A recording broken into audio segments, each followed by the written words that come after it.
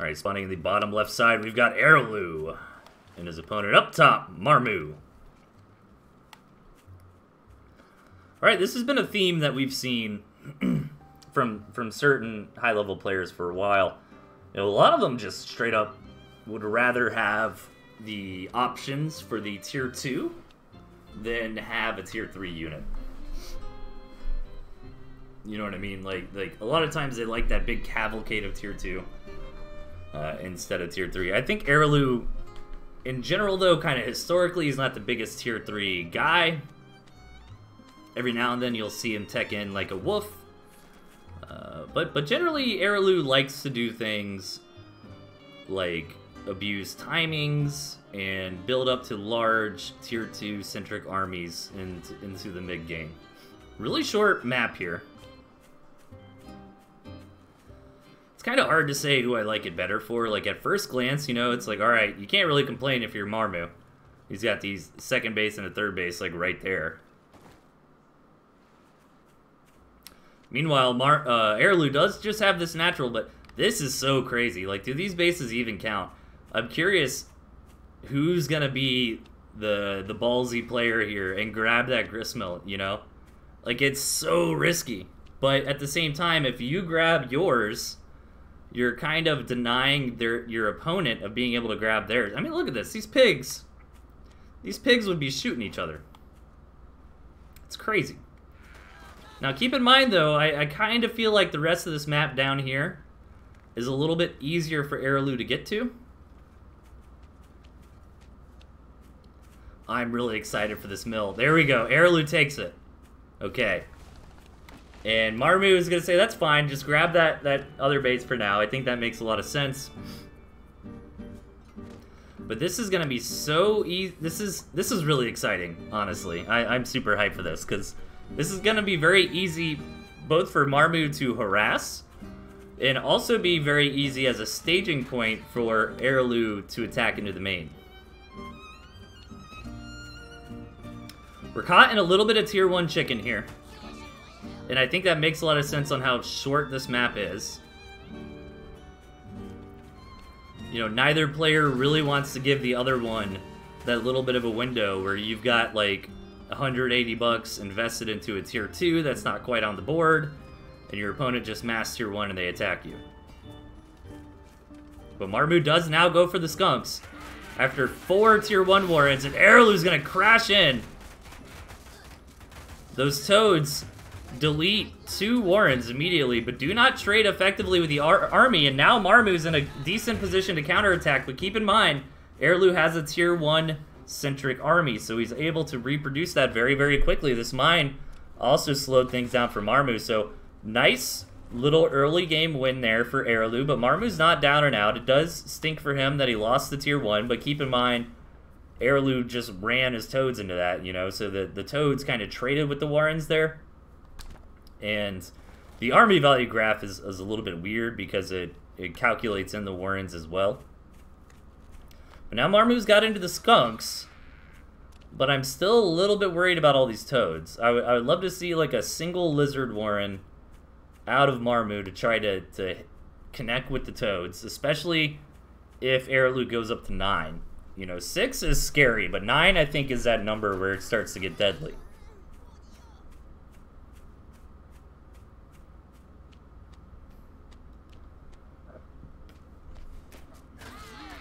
Arilou going into Cam Snake here to try to deal with the uh, the skunk composition of the opponent. Meanwhile, Marmu going very, very hard into tier 2. Going up to 6 Falcons. 5 farms, six, seven farms on the natural. Marmu playing so greedy. But the question is, will the greed pay off? I mean, Arilou is also going into a lot of tier 2. So an attack from Arilou is not likely. And this is the decision making from Marmu. You know, he comes in, he scouts all these Warrens. He says, okay, my opponent's not going to attack me very soon. I can get into my own additional tier 2. I can get into further saturation on my, my second base. And so far, this is looking good for, for Marmu. I think big masses of falcons typically do quite nicely in these large tier 2 oriented compositions.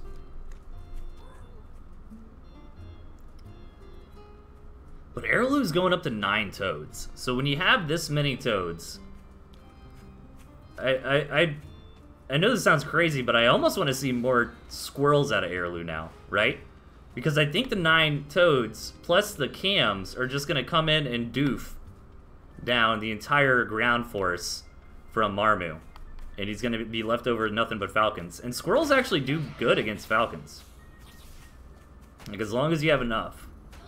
But at the same time, I don't think Arilou is fully aware of just how many Falcons Marmu is getting into here. I mean, he's got six or seven up here on the front line. Really good snake tags on these Falcons by Arilou, and these armies look like they're going to trade into each other, and, and Arilou actually comes out on top uh, because all the chameleons stay alive there.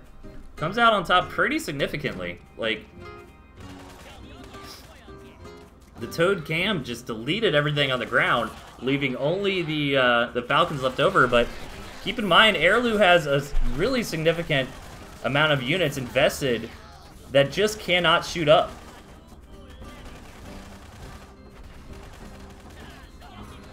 Nice snake tags, getting a couple of those Falcons. Like, Marmu has essentially no more ground force. Marmu realizes that they took uh, a bad trade there, and is just kind of hoping that Arilou skimps out on the anti-air here. But smart move by Arilou to, to sell down on the Toads. Pretty interesting to keep into the four cams. I think maybe the, the thought process there is that the four cams, not only will they tank against the Falcons, which is important, but they also, combined with the three Toads, should be able to delete upon, give the give the Blaps to the uh, Squirrel Forest of Marmu pretty nicely. And Arilou is relying on squirrels to be able to deal with these falcons. I don't know, man. Again, Arilou's taking some good trades here, so he's got the, the advantage. But can Marmu do it? Marmu's got that 6 o'clock hidden base, by the way. And Arilou pushes in. These Chameleons getting a lot of work done. But can Marmu delete all the anti-air of his opponent? No, the, the Snake Micro is really on point here from Arilou. He does a great job spreading out all those stacks of poison onto all the various Falcons here. And I think just a game, uh, game crippling damage. You know, so many farms go down. So many Warrens go down. Now keep in mind, Marmu does have this sneaky base down here. But is it going to be enough? He's only got a couple farms on it. Arilou still ahead on economy. That's two engagements where Arilou has come out on top. Hey, what's up, Protocam? Good to see you, man. Yeah, Proto was doing some uh, rank stream as well.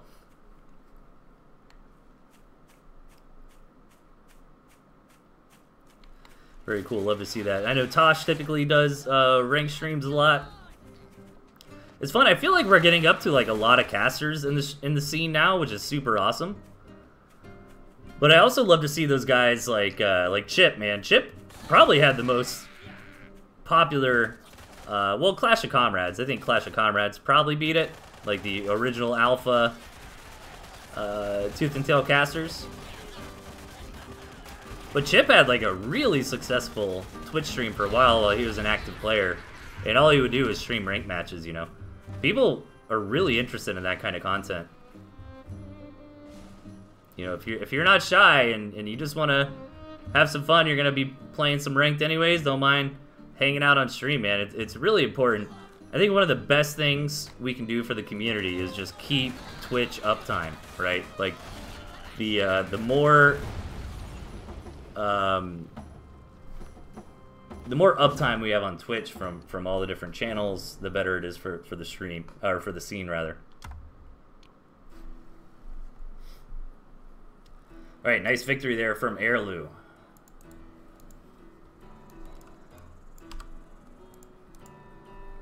But I do think we, we need that in the scene right now. Um, I think we need more people just like streaming ranked matches, you know, for, from the uh, first person point of view. A lot of people find that really useful. I'm sorry, up here. And let's get it to match number two. And I think another thing that we need in the scene, like guys like Jet and Mishi had kind of done this a couple times. And I'll get to that in a second. In the bottom, we've got Marmu, and up top, Arilou. where they take like really deep dives into into different concepts. You know, I would love to see that.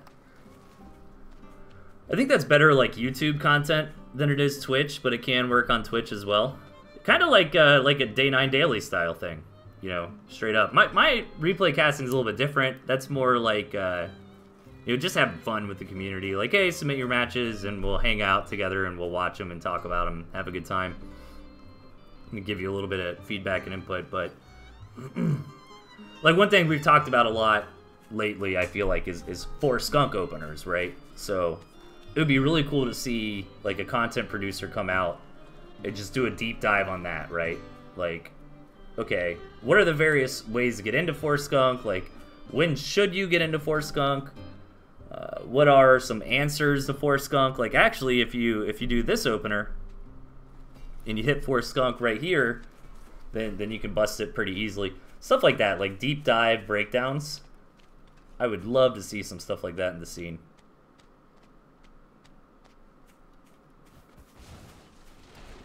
All right, so short rush distances as well from both players here. Map in the hyper late game does favor Marmu. I mean, it seems like a significant amount of the Gristmills are on their side. I like. He's, he's typically bold with these Gristmill choices. You know, grabbing this Gristmill now, like fighting for this position on this high ground right here, right now, is, is very smart. It is risky. But if you can establish yourself and you say, I, I don't think so, Marmu, like this is not your platform. We have to fight tooth and nail for it. That puts Arilou in a much better position to transition to a third base later on. Where whereas if he had opened up with this base, like yeah, it's it's safe, but it'll be really difficult to get this one later on.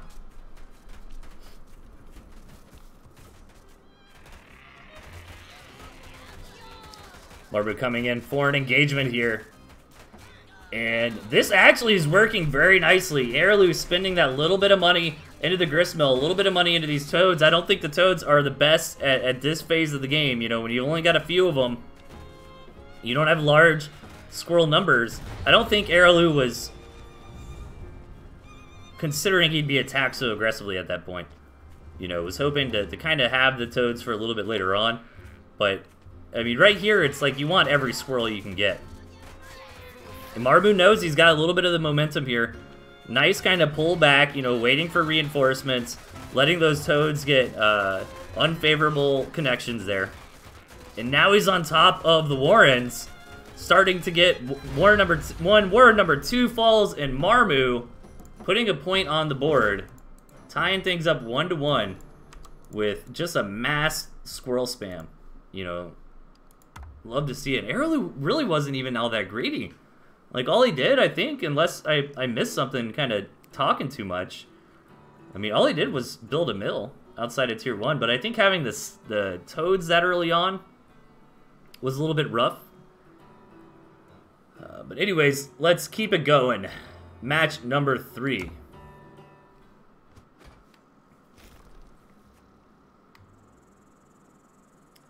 All right, spawning on the left-hand side, we've got Marmu. And his opponent to the right, Arilou. It's funny, the chat's kind of talking about how they see uh, top-level players using mines and stuff. Arilou was really, really no... I mean, most of y'all know this, but for any new viewers in chat, I see more follows coming in. Thanks for the follow, Asher Bro. I appreciate it. Um, so the mines recently got... I think they got a little bit of a stat nerf, but the big change was the reveal, right? And it's really interesting to see. You see this all the time in any competitive game, but when, when something gets like slightly nerfed, the the reaction from the community is is always immediately like, "Oh, it's garbage now." Like you just can't do it. it it's out of the question. It's horrible. But as a little bit more time passes, you know, people are realizing, well, you know, mines are still pretty damn good. And, and even with the reveal, it, it's harder than you think to uh, to actually find them. moles are garbage in the chat. Hey, we saw uh, we saw Eel won with moles earlier. We saw uh, another successful mole push. Kipo and chat being the voice voice of reason. But no, it, it, you know, it's it's too early to tell. I feel like. And, one thing I, I, used to say a lot, but I think I can repeat it now. It's been long enough. I, I feel like the strongest mine of the game is the first mine. You know, mines are really interesting, especially in a non-mine meta, because you you don't you're not gonna think your opponent has mines, right? Like Marmu is not looking for mines right now. Like there's a mine right there, but Marmu's not mine sweeping. He's not taking the time to do that sort of thing. Ooh, Arilou being sneaky with the cam. Metal Gear Solid. Solid chameleon over here. Right, so I feel like some of the most impactful mines can be some of those first mines. When when you're you you don't even realize the opponent has mines, you, you go for a big move out, and then you slam right into them.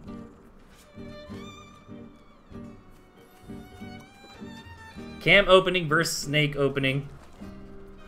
I think that favors the snake, but uh, it also depends on the tags, depends on the engagement. And on this map, though, I really think it's going to be negligible. I think the map is just so gosh darn huge. We are going to see a nice big fat macro game here. And Arilou with these toads, that is what I'm the most excited about. Because toads seem to be dominating right now, man. When you can get up to like 9 or 12 toads, but the thing is you can't rush into 9 or 10, 12 toads, you know what I mean? Like you gotta kind of organically get there over time. You, you don't want the vast majority of your army to be toads. You need to have like 12, 15, 18 squirrels and the 9 toads, you know what I mean? I, I feel like anyways. But man, once you can get to that point, if they can get the right connections, they can really delete an army.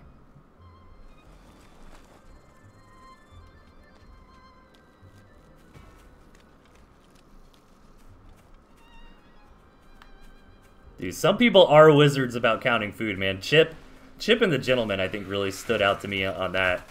Like, there are certain situations where I, I mean, I'm pretty good at the early game. But, I mean, Chip and the Gentleman were, like, so tuned into it. You know, Chip would be able to come in and scout something like this and, and know, like, a Tier 3 Warren is hidden somewhere because food is missing. Like, I, am good for the first couple minutes, right? Like, I can count the food and be like, all right, you're, you're missing something. You're up to no good. But when we get into mid-games like this, like, how do you, how can you tell that? It's really impressive. Arilou knows this cam harassment's coming in. Moving in for the snakes. Gonna get one. That's one dead cam. Trying to get the second one. That's two dead cams. Marmu realizes it. Trying to just hard commit to the pigs. I guess does trade out uh, evenly. I would actually consider that. It, it's interesting. It's a tempo victory for Arilou, but it's... Eh, I'm sorry, for... Yeah, for Arilou. But it's an actual money victory or food victory for Marmu. Because even though it was 120 food for 120 food, I actually do count the rest of the food on that was left over on these farms as additional damage.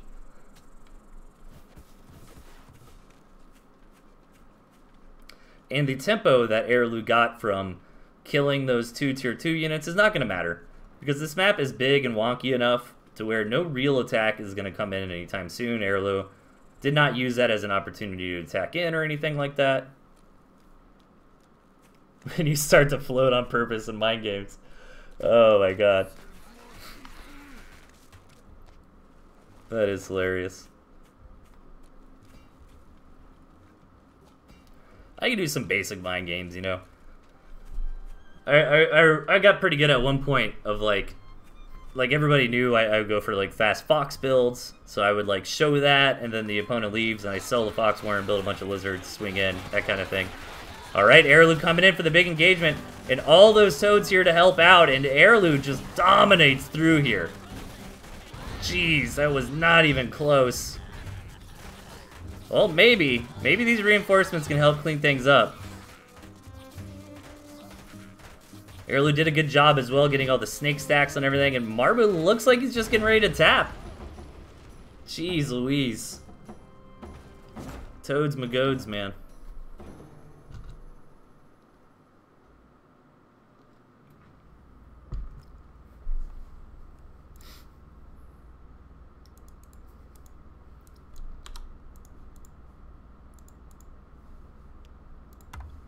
Toad Road mode initiated. Game number four. Spawning on the bottom, we've got Marmu. And up on the top left on match point, Arilou. I'm always a little bit disappointed when games like that happen. We see that in, in all RTSs. You'll, you'll see that in Brood War, and StarCraft 2, and that sort of thing as well. But sometimes we build up, we spend all game long building up to these big death deathball armies, and one person just dominates in, in the in the engagement. And they just swing in and, and, and finish the game. That's always cool, you know, everybody likes big explosions, but I, I love the nuance that happens when like those big deathball armies in the mid game end up trading. And then the players have a lot of important decisions, like what do I keep, what do I sell, what do I think my opponent's gonna keep. But we did not see that that, that time around. Arilou got the uh, toe connections he was looking for, dominated through that that uh, fight, and this time around Marmu's got the toads as well.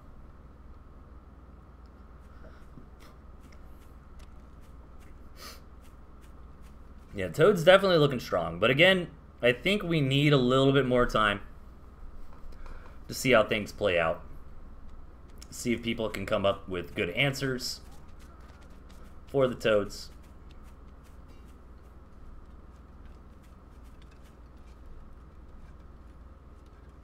But it's rough. They're just so fast. Like, what can you... The only thing I can think of, and I, I sound like a broken record because I've said it a few times already, is, you know, you've got, like, Squirrel Lizard or something, and you try to just build a, a couple lizards and a lot of squirrels and, and have the lizards tank the, the toad shots, right? But that's not theory. I mean, that literally used to be the meta back in the day. Like, when, when we had strong toads in previous patches. Like, that's literally what people did against them. Sometimes it can be kind of hard, hard though, in, in situations like that. Like, imagine Arilou's army is, like, threatening. Well, I guess it'd be down here. Like, threatening, you know, the big toad and, and Friend's army. But Arilou's just holding his toads back, holding the toads back, right? And poking in, poking in. And he's to wait until you hard engage, and then he's to release the toads. So there's a lot of uh, micro that can get involved with that. I think at uh, I think with like no micro at all, toads are very dominant, right? Like we might just see toads end up like smashing the beginner's division or something like that.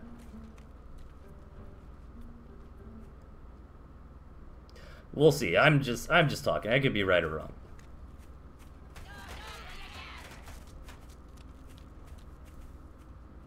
Yeah, owls.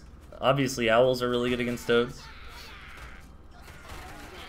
Alright. And as you can see there, this is what I was talking about. That was a perfect example. Marmu's three toads traded for Arilou six. And now look at this. All of a sudden, Marmu has got the uh, the unit advantage. Just cleans up those mines and goes home. But that, that was like a perfect example of how to deal with toads. And those didn't have to be toads that Marmu used there. Those could have been lizards, those could have been moles. That's exactly the thing you're trying to do. And it's really kind of cool in these situations where it's like the person with three toads kind of might have a little bit of an edge against the person with more if they can get the right connections. That time around, the, the trade was better for Arilou because Marmu's toads were not all in the right spot. A couple of them got blown up before Arilou's toads moved in.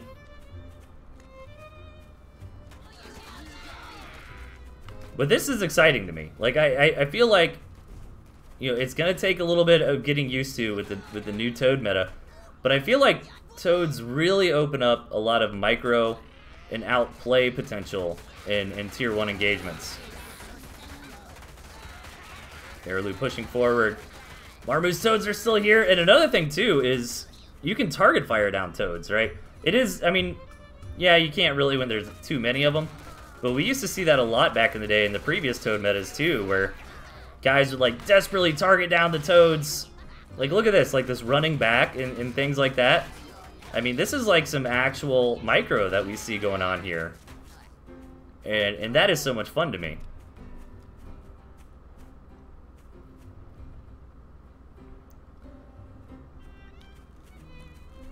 And I'm not saying there isn't micro. In other places of the game, there there certainly is.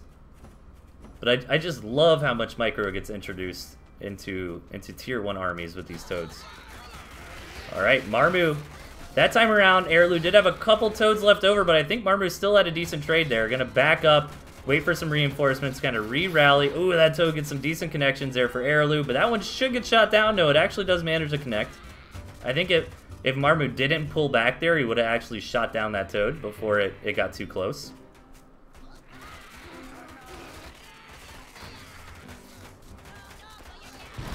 And Marmu finally pushes through.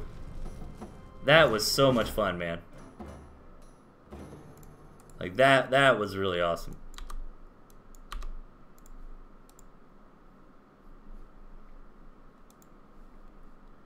And you can see in these engagements, you know, most of the fights Marmu was winning.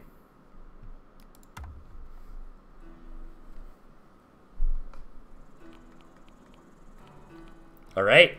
Match number five. Every series tonight going to five games. So let's see it. This is it. Spot at the bottom, we've got Arilou. His opponent up top, Marmu. This one is for all the marbles. Both players with the exact same compositions here. Literally every same unit.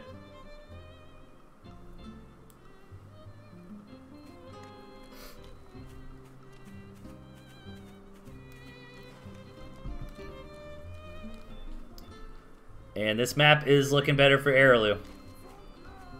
Nice four bases here. Maybe Marmu, you know, Marmu's got this nice natural. That's such a good natural. Like, that natural is just impossible to attack. I mean, Arilou's kind of got a pocket that that's really similar, you know? That That's basically impossible to attack as well. But Arilou's got other options. You can maybe try to take this one, again, just to get that risky base out of the way early on. And you know this map is a little more even than it looks. These two bases over to the side are awkward, but I would kind of consider them for Marmu. And this middle mill just doesn't exist. Like, no player is going to get that. It, well, let me rephrase that. If somebody gets this mill and is, like, farming off it, that that's game. That's game over. They've got so much map control.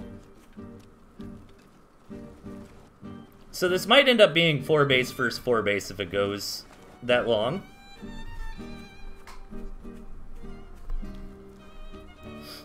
I do favor the map for Arilou, but not by a ton. I, I think this is still playable for Marmu. I don't think it's unreasonable that Marmu could get over here to get that done later on. It's still a pain, though, because even if Marmu does, Arilou could do things like abuse this uh, wall with falcons, you know, that sort of thing. So, like, little reasons like that. It's definitely better for Arilou, but it's a playable map for Marmu. You know, a lot of times we don't see games go past two bases anyways. And with these kind of players that are really in each other's face, you know, we don't see any owls here.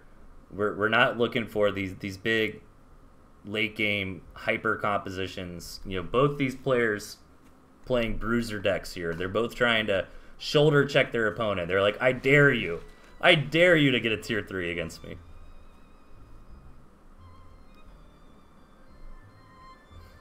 Pretty mirror stuff so far. Arilou getting into the cams a little bit earlier. Ooh, I think Marmu sold a pig. Maybe he didn't. Getting into some snakes. Damn, the exact same deck from both sides.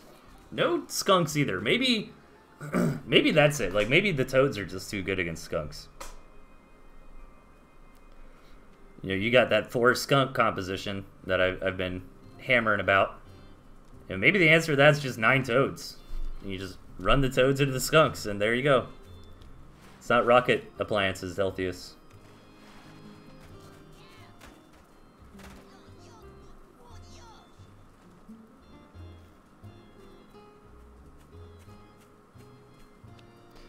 Yeah, and another thing is toads move the same in water, which can make for some interesting engagements because some uh, some units cannot. So we can do flank attacks in Tooth and Tail. Uh, since you can't, it is difficult for sure, but since you can uh, rally your individual units separately, uh, you, you see this pretty often, in fact. Like, Arilou might take his chameleons and, and run them over to the side, you know, and then try to come in here and get some pigs and, and that sort of thing. People do that a lot with their lizards. Tiki Gray has uh, lately also been showing off that you can do that sort of thing with snakes. But typically, uh, most flanks are with like lizards or chameleons or fox or, or that sort of thing.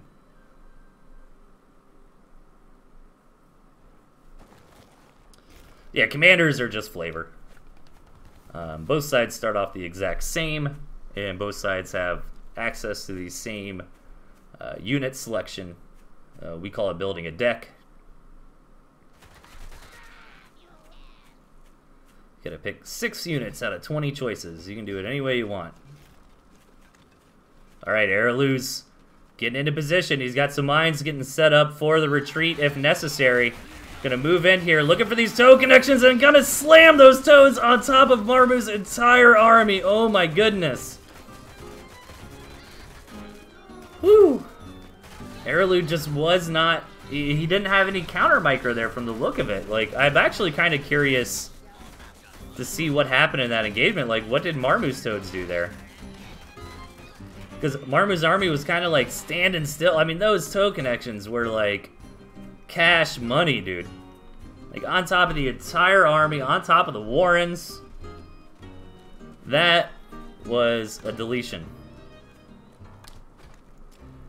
Now, the one thing that Marmu does have going for him is the uh, the economy wasn't affected. He did lose a lot of Warrens there. I think it might also have to do with how many chameleons are here. Like chameleons like to group up, and, and I feel like when you get into numbers like this, like the Toads should should do pretty good against the cams.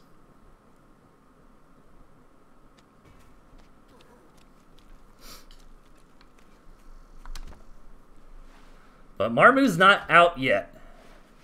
Maybe if Marmu can take a good value engagement, he might be able to do this. He really cannot let those toads blow up on his chameleons. That's the big thing. He needs it alive. His toads hit the enemy's toads, but the toads get really good connections here for Arilou again. On top of all the cams. All of Arilou's cams are left over. He even re-stealths them. All at very, very low HP, and that's going to be it. Marmu taps out.